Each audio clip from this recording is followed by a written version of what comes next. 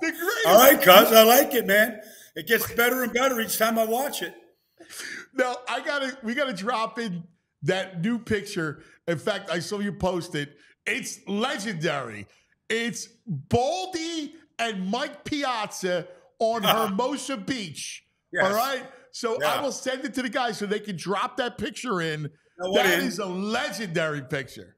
Yeah, that was uh we were training at my buddy's place in Hermosa, the yard, and Piazza, if you notice, he's got a broken thumb.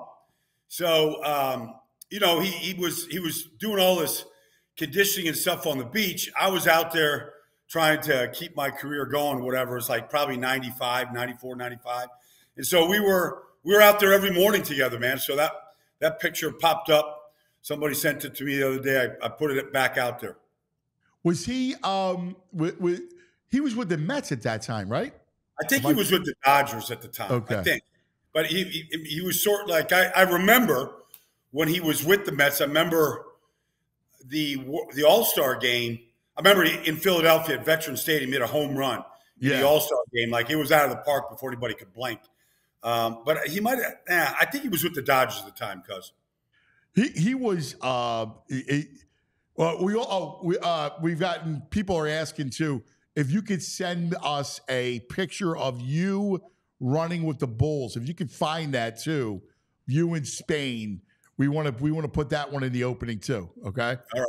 All right. I mean, you know, this is this is uh mid '90s now. There wasn't ex- exactly a whole lot of cameras around. Um, nobody was carrying any camera with them. Although one of the things they did, uh, they might still do it. I haven't run, you know, since then. But one of the things they did, this was '95, is they had Fuji had these cameras set up along the, the the track, and they just snapped pictures like nonstop. So you would go and you would see all the pictures that they posted um, and you they, they would probably catch you during the run um, with the bull near in, in the vicinity, whatever, and then you would just order those pictures, and that's how they did it back then. oh that's fantastic that's fit yeah. we definitely need that but that picture of you Piazza you you look like uh like a wrestler you you were you you were in heavy playing days Yes. So you Yeah. had to be what, 50 pounds heavier? Yeah, I, I thought that um, at that time in my life, I thought everybody should weigh 300 pounds once in their life. There And I thought like life began at 300. So I was probably 295, but you know, I, I think I did get over to like, I, I pushed up to like 302 at one point. And I, that was, you know, that was the biggest and strongest I ever got in my life at that point. Yeah, but you weren't you weren't heavy, like you were thick, like you were put, Yeah. put together. People No, no, I was strong. I was strong. I was like, we were doing heavy bench, heavy deadlifts at the time. Like we were lifting for, you know, we were lifting for maximum muscle at that point. what were you what were you benching at that point? I, I I'll never forget, cuz I was at this uh, World Gym on a Friday night, and uh, I took 465 off the rack and benched 465. I had a bench press shirt on, but I took 465, no spotters. I took it off the rack. You know, I pressed it one time. That was my 465 was my all time best. 465 without a spotter? My lord. 465. Yeah, I mean, I didn't think it was a legit bench if you didn't take it off the rack yourself. Like if a- Oh, my a spider was God. taking you and setting you up to lift it, Right. I didn't think that was an official lift. Wow. That's Yeah. impressive. 460. Wow, that's crazy. All right, let's get to our uh, draft, our meat locker mock draft. I I got to ask you about something because I heard now I, we'll see, but uh, you know, I heard you draft a lot of talk. Washington has is enamored with JJ McCarthy. Okay. I I, I got to tell you, I I don't understand it. Like you got Jayden Daniels sitting there or JJ McCarthy. I, I to me, it's a no brainer. You got to go Jayden Daniels. I find it hard to believe. I mean, you know, maybe Kliff Kingsbury sees something. I mean, he's the new offense coordinator. He's coached Johnny Manziel, Patrick Mahomes, Baker Mayfield. He's coached a bunch of guys that were, you know, first round draft picks. But I find it hard to believe that uh, Washington is going to forego Jayden Daniels because I see a lot of drafts have Jayden Daniels. Like, for example, our lads has Jayden Daniels as their number one ranked quarterback. That doesn't mean that Chicago's going to take Jayden Daniels, but they have him as the rank, number one ranked quarterback. Uh, I don't see anybody having Jay. So let me ask you this, cuz. Yeah. We've all watched, you know, we, we met Michael Penix, we met his agent. We've watched a bunch of Washington tape. Nobody threw the ball um, deeper, more frequently, and better than Washington did. If you took J.J. McCarthy and put him in Washington's offense, would they be 14 and 0 and on the brink of winning a national championship? No, like, I don't no, believe that. No. I, I don't believe that.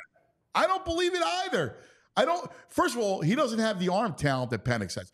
Penix's arm talent is is off the charts, ridiculous. I mean, we we saw, especially if you go and watch that Texas game, and and we did, and you saw the down the field in the drop in the bucket shots were were uh, insane. You can talk all you want about his receivers, and they're very good, but he was putting stuff in tight windows. Yeah, no, all day, all game long, and um, you know, just touch throws, every type of throw that you could. Like, if you wanted to put the highlight tape together of a quarterback for this draft, I mean, you could just take eight throws from the Texas game and go, "Here's my highlight reel." Go, you know, find a flaw. So, I don't, I have not heard the what you've heard, like the enamor. I, I kind of hear chalk, like Caleb Chicago, Jayden Washington, and in my mock, I had New England trading back, but I, may I hear Drake to New England, and the draft starts at four with Arizona, and whether they take uh, Marvin Harrison Jr. or one of the receivers or trade out, I kind of feel like that's where the draft is going to start, which is a little departure from what we talked about last week in my first ten. But it, look, these things, you know, Mel Kiper Jr. is up to the fourth mock draft. Daniel Jeremiah will have his fourth no, mock draft. 2.0, man. They, they, they, listen, as more information and, and yes. stuff leaks out, you know, and listen, it's a small world, right? Like, so, you know, all it takes is stuff to come out and you kind of mm-hmm. figure out what's real, what's not real. But yeah. it's legitimate. Like, teams' boards are already set, yeah. and you kind of have an idea. They know who they're looking at. And this is where stuff kind of this time of the year where it filters out. Well, it does filter. I mean, sometimes it is put out there and it's put through you know, the the guys that broadcast this stuff, you know, I'm the Adam Schefters or Ian Rappaports or Jay Glazers. There's stuff that comes out on by the agents, uh, by teams for for a variety of different reasons, smoke screens, you name it. But I think the big thing, like for example, I'm going to be on Total Access NFL Network tomorrow, and they said, "What what like you have suggestions?" And I said, "Look, let's just take a couple teams. Like I just said, let's take the Pittsburgh Steelers." who haven't won a playoff game since 2016, they're picking number 20. And let's take let's take the Chargers at number five. Like, let's have a real war room debate. What's the best player to take for the Chargers at five to get out of this malaise that they've been in, get to the playoffs and win a playoff game? And the same thing with the Steelers. Like, you can make a case that Jim Harbaugh and you know their new general manager like they could easily go right tackle at that spot. They could go Malik Nabers, Rome Odunze at that spot. Like they could trade out of the spot. Um, you know, you could look at Pittsburgh and go, boy, they started building the offensive line last year. Broderick Jones, Isaac Seumalo. Let's go get ourselves a starting center since we don't really have one right now.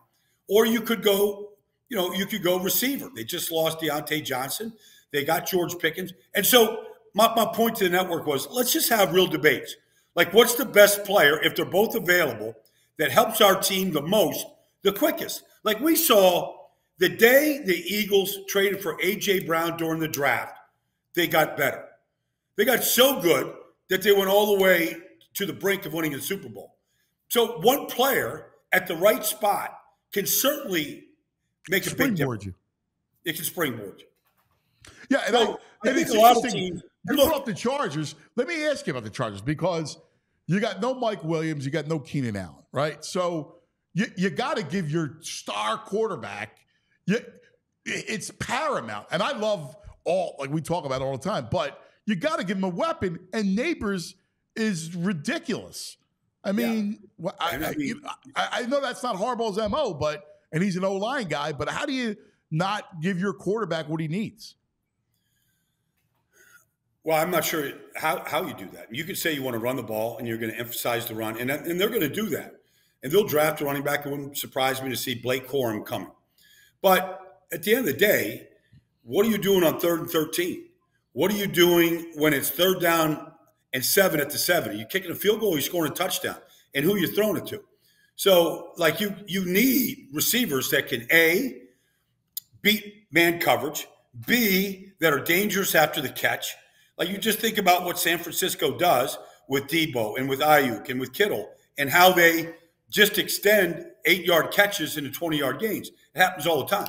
Like so, I do think that right tackles in play. It, it has been a position of need for that team, and it would, but you can't get everything. But you better help your quarterback out, and you better give him a go to guy. He just lost his go to guy every day since he's been there in Keenan Allen.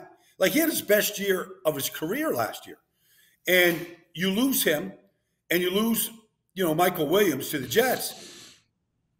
To me, it's screaming wide receiver. It, by the way, he's the best quarterback Harbaugh will have coached. Yeah, yeah, by far.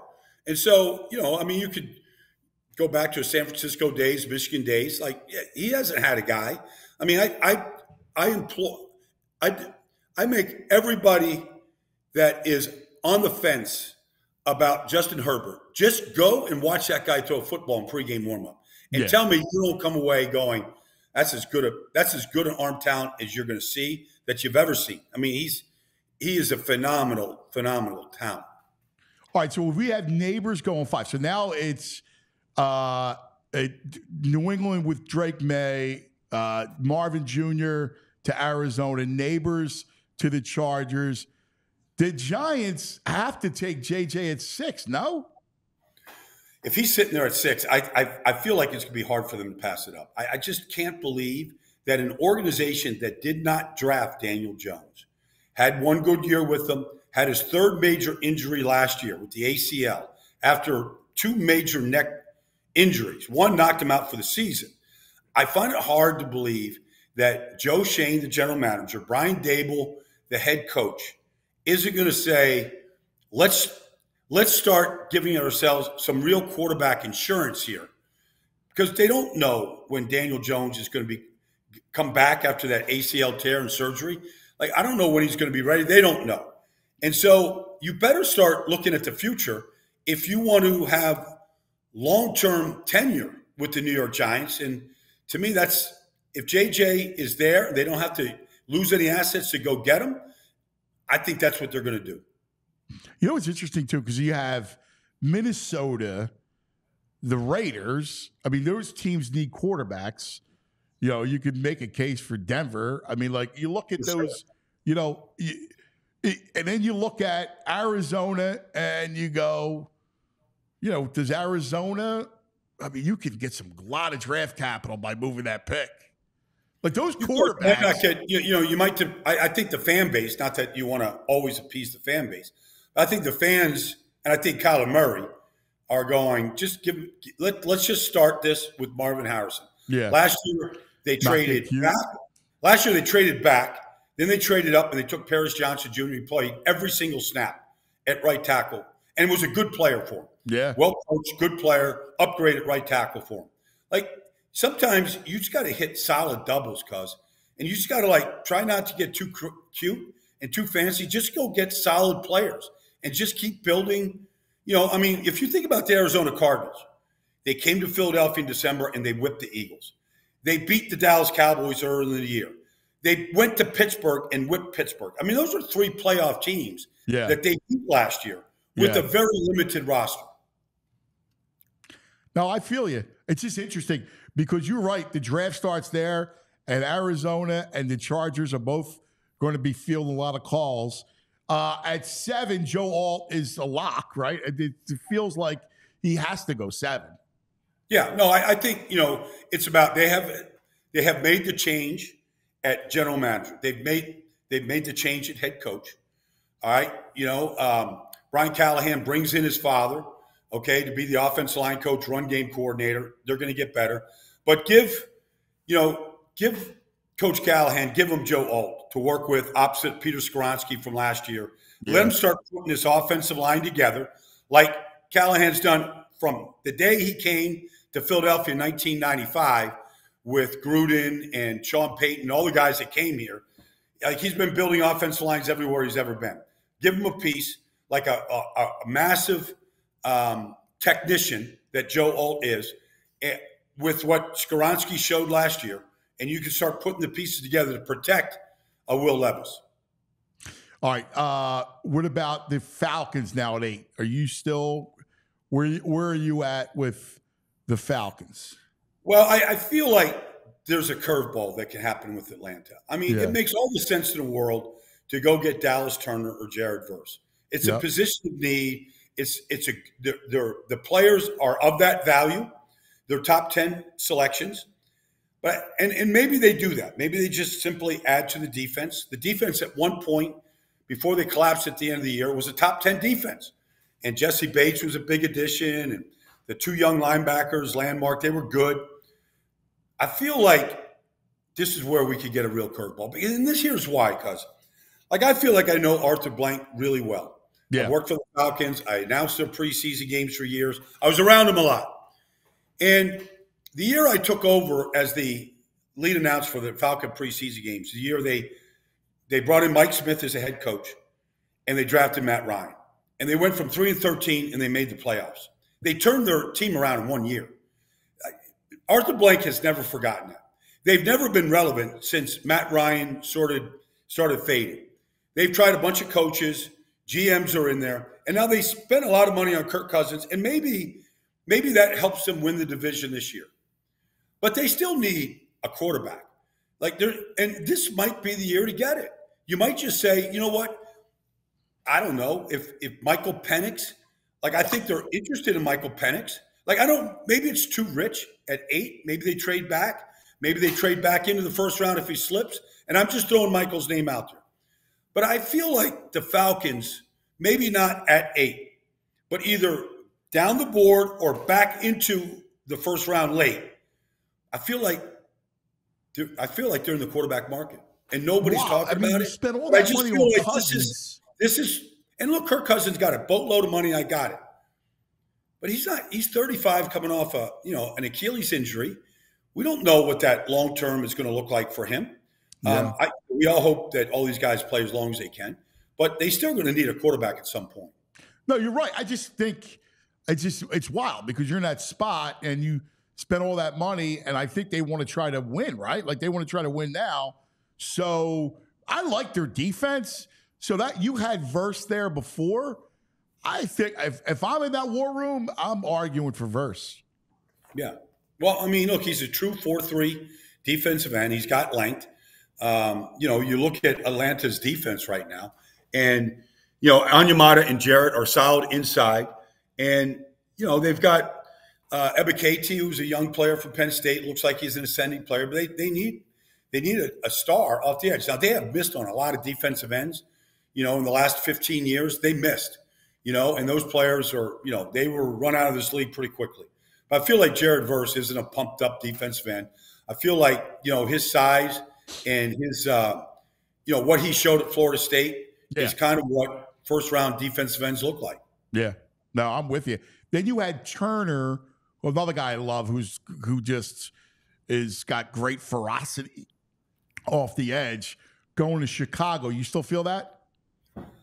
I do, except if Rome Odunze is there. If Odunze is there, I still think that he could be a play. Could be one of those discussions where you just go, you just give Caleb all the all of the help that they could use. Um, if Joe Alt was there for wow. some reason, what if Tennessee passed on him? And I don't think Atlanta or Chicago is going to, you know, I, I think Chicago, if Joe Alt was there, that would be one of those discussions. Do we go defensive end opposite Montez Sweat and complete this defense that improved as much as any in the league last year?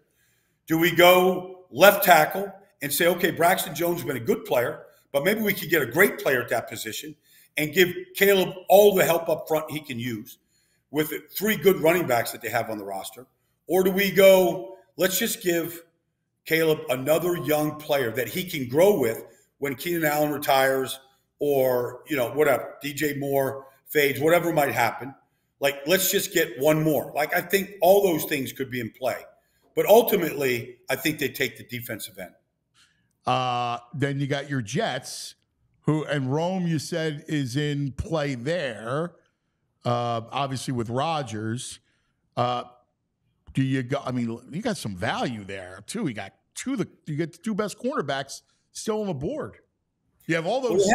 old, And you old can- linemen too. and Jet fans would say, "Well, yeah, but we've got Sauce Gardner, we've got DJ Reed, and you know we've got Michael Carter Jr. Like we're we're, we're set at corner, okay? But what if you could get the best corner and go, all right, DJ Reed's our third corner, and let's go put the best Terrion Arnold, whatever. Let's go put Arnold next to Sauce, and let's just make it with a maybe the best pass rushing defensive line and maybe the best tandem of corners. You just make it hard to like throw touchdowns. Yeah, You know, like, yeah. you know, you just go, well, the number one ranked defense like that. Yeah. There is. I'm not saying Joe Douglas isn't thinking like that at all, because they, because uh, you could go if Rome was there. That makes sense for Aaron Rodgers. Like, okay, let's go. Garrett Wilson, Michael Williams. We don't know when he's going to be ready. Let's get Rome Odunze. And if Aaron Rodgers plays a year, two years, we still got a receiving core of Garrett Williams, Rome Odunze, blah blah blah. Or you could go Brock Bowers. They've got a deep tight end room right But now. they have like four tight ends. They do. They, they have four, as a matter of fact, and they like all four of them. But this is a player that you have to really account for uh, in Brock Bowers, where if you build your offense around when Minnesota really started building their offense a little bit around TJ Hockenson, he became what looked like a guy that you could, okay, say this is what a first round, you know, top 10 tight end looks like. Some days he looks like that guy. And but you have to you have to feature that. I don't think it's a high priority, you know, for them right now because the the roster right now at tight end is simply this: Tyler Conklin, Jeremy Ruckert, who is a year removed from plantar fasciitis, uh, Kenny Yeboah, and Zach Kuntz, who they drafted last year. So they are four deep at that position right now. You, you know what's interesting is the tight end spot, right? Like, if you have an elite tight end, you win. Chiefs, obviously. Niners, Kittle, right? Baltimore uh, was interesting because Andrews gives away the likely. Both played huge parts in their offenses, right? You mentioned Detroit. Uh, I mean, Buffalo. Like, you go around the league, those tight ends, and Bowers is fascinating. He's an interesting prospect because he is elite. Like he he's a game changer on offense. He's a game changer, and he's a he's a much better blocker than anybody thinks he is. And Yeah. he is very explosive after the catch, and he's a good route runner. His hands are sick. Just I mean, the one handed catches at Georgia are crazy. Um, how he adjusts to a ball. Um, I don't know where he's going to go. The Jets might be the first landing spot for him. How about the Colts? Maybe he doesn't get past Denver if Denver just stays there at 12. Like, I think, you know, after the three receivers go, I feel like he's going to be the next receiver tight end to go. I feel like he's going to be the fourth. Colts are interesting for him. Yeah, Col- Colts, I think they're leaning towards defense right now. Like, I feel like uh, Quinyon Mitchell, Terrion Arnold, I feel like that's a position that they they really need to upgrade right now. They've got Juju Brents there, um, you know, who was a second round pick a couple years ago. Uh, but I think they need a starter, like a true number one corner opposite. All right, so this is important for the Eagles. Where does the run of offensive linemen start? Right? Because you have all those linemen, and then you look at the Eagles, and a guy, it's funny. Uh, we, you and I talked about Steen last year. He, everybody made a big deal. We talked about this morning with Bo, how Nick at the owners' meetings didn't put him in the mix for guard. He forgot his name. Now it was early. You could say he forgot his name, but it, it appears they're very tepid with Steen. I think they're looking to upgrade the position. Okay, um, so I think that's that's where they're at right now. They're going to have a center, Cam, you know, taking over for that's already an adjustment, taking over for Kelce. Um, the run on tackles, I believe, outside of Joe Alt, who looks Right. like he's going to go in the top ten, probably Tennessee. I feel like it's going to start with the Raiders at 13 because they have a huge need at right tackle. The New Orleans Saints, they already fired their offensive line coach, Doug Marrone, brought, you know, new coach in. Um, so I feel like the, the Raiders, New Orleans, um, uh, Cincinnati, like Cincinnati at 18, yeah. You know, they need a right tackle the worst way. You got to keep Joe Burrow upright. Yeah. So I feel like, and then Pittsburgh and Miami are certainly in play at center for sure, and possibly tackle depending on what Terron Armstead does at Miami. So Philly's picking 22, but you're saying the run. The run to be starts Raiders, New Orleans, Cincy, Pittsburgh, Miami, Philly. Like I feel like there's a deep run on tackles, and maybe because there's a couple elite centers that could go in that mix as well. Yeah, that's going to be interesting. That's why you got to believe that Howie's got to trade up to get well, one of those guys. You know, they've, got, they've, got, picks 50 and 53. Um, I, I feel like if they want to get, like, let's just say Taliese Fuaga, let's just say Fuaga falls below New Orleans. Say New Orleans doesn't think he can play left tackle. And the Raiders say they take J.C. Latham. And Fuaga's in play. And Cincinnati's there at 18. Maybe there's a trade there with Jacksonville or Seattle, you know, to, to go get Fuaga. Because I think he's going to be it won't surprise me if two years from now he's the best tackle in this draft. It just won't surprise me. Yeah, but I agree with I you. people are there's people are calling on him. I don't understand that. Well, you're spot on. You loved him. I agree. It's the same thing you do. Well, I think he also could play right guard, and I think you know at 335 pounds, he's a greater man. You you plug him next to Lane Johnson. I think Lane would be thrilled. Yeah, I think Jurgens would love it. He's an undersized center and they would get back to, you know, that just that huge, in you know, just that big, strong offense line. Just keep it big and strong. You got Saquon back there. Go get yourself as good a run blocker as is in this whole draft. You play him at right guard. You get value for him right away. And if something happens at the tackle position uh, down the road, you move him out to tackle. But I think, like that's where I think Howie, and I'm not, you know, it might be Fautanu, like if he starts to drop, but maybe you could get him at 22. Yeah. But I do think there is a player like Fuaga, and probably more than Olu, Fashanu, probably more than him, that the Eagles would be most interested in. Because I think Fashanu is clearly just a tackle, but Fuaga looks like he could be one of the, just a monster offensive guard. And I think you could put him in there. And so could Howie trade up and use one of those picks? that he has, I think it's possible. Yeah, I'm with you. All right, brother. Listen, uh, what's on tap for you today? Do the Sixers win tomorrow night? And then uh, we'll convene on Friday. But what are you doing today?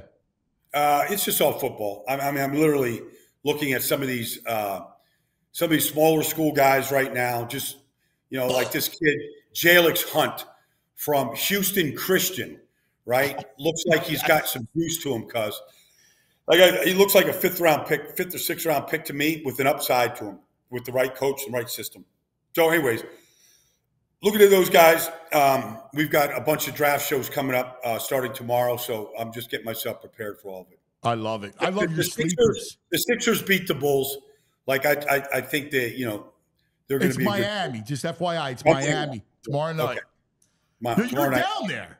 Like so, you know, you could go represent the Sixers at a bar when they're watching it, when everybody's all heated up. I could crash that party, cuz that's possible. Yes, That's real possibility. Yes, Baldy, I love it, brother. Thanks, man. You're the greatest. We love you. See you Friday.